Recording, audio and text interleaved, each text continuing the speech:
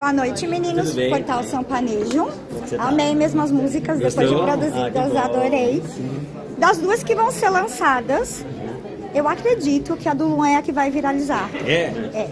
Bom, é bom, bom ouvir isso. Eu quero que, eu quero que qualquer uma delas viralize, se possível as duas, né? A gente, Então. a gente aposta muito, né? Porque elas têm dois papos que eu gosto muito, que a gente gosta muito. Um é um lance mais sedutor ali, do quarto 67 com o Luan e tal, tem as meninas atrás. E é um papo que a gente gosta já de cantar. E a outra, Sujeito Homem, que ela é uma receita mais sertaneja mesmo ali, na vaneira e tal, com um papo positivo, mas uma forma descolada de falar. Então, acho que elas não, não conflitam entre elas e vai ter, vai ter, vai ficar bem aberto pra galera poder se identificar assim. A Sujeito Homem vem primeiro, mas a do Luan é uma das nossas apostas também. E o lançamento oficial é? Dia 17 de outubro, Sujeito Homem. Semana que vem.